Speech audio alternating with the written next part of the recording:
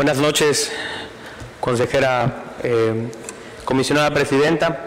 Sea usted bienvenida a esta Cámara de Diputadas y Diputados que siempre velan por el interés ciudadano, que son lo que más deben cuidar los órganos autónomos, como el que usted honra en presidir.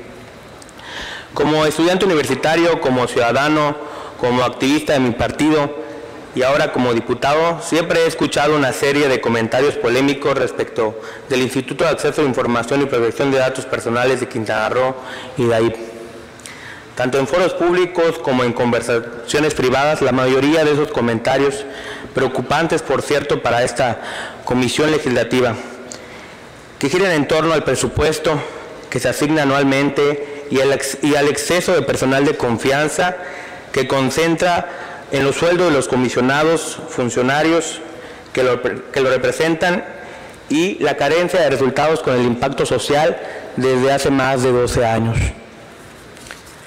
Más, de, más allá de hacer una pregunta ahora que detone respuestas con abundadoras datos estadísticos, me gustaría eh, solicitarnos, solicitarle, perdón, nos diga si el IDAIP ha considerado ponerse al corriente con las líneas institucionales de los gobiernos estatal y federal en términos de la cuarta transformación que implica, entre otras cosas, austeridad republicana y combate a la corrupción, solo para hablar de las más comprometidas con ese instituto.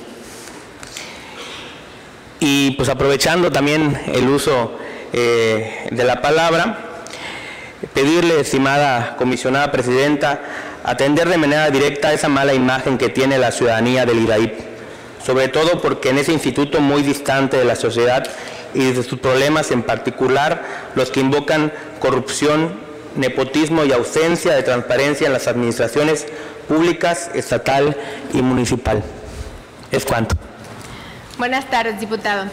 Su pregunta es una pregunta muy interesante y realmente eh, se la voy a responder con mucho, con mucho gusto.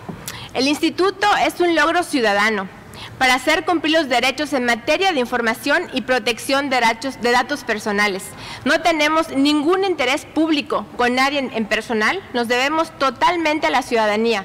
En el instituto eh, tutelamos dos derechos humanos, que son el de derecho a la información y la protección de datos personales.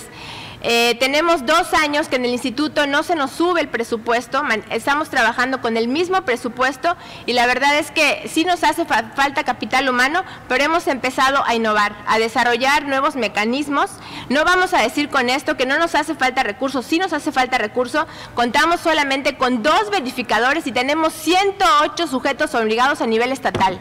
Tenemos, cuando empezamos en 2004, eh, teníamos pocos recursos de revisión, pero específicamente en 2005 tuvimos eh, tres abogados y habían cinco recursos de revisión.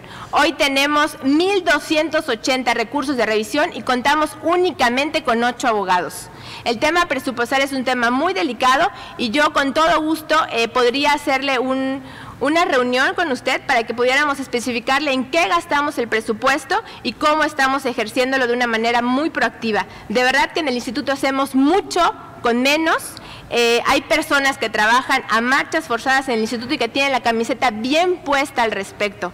Y en cuanto a lo que nos decía del, tema, de lo que opinan, estamos trabajando altamente en capacitación con los sujetos obligados, con la ciudadanía en general, por ejemplo, con medios de comunicación, con empresarios, con universitarios, para que sepan cómo usar la Plataforma Nacional de Transparencia, dónde buscar, eh, para que puedan tener una mejor rendición de cuentas.